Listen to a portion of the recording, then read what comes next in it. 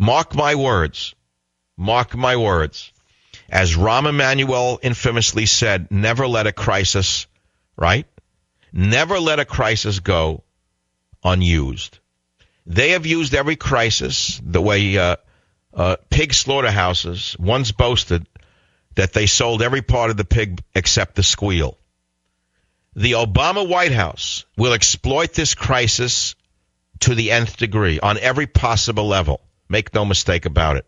It's coming in the next few days. You, they're working on it right now.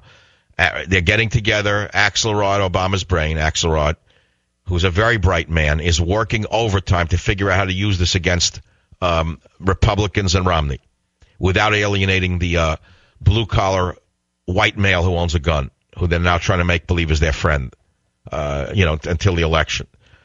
So there's a very political potential, which is people are disturbed by this as they should be. Could have been them, could have been their kids.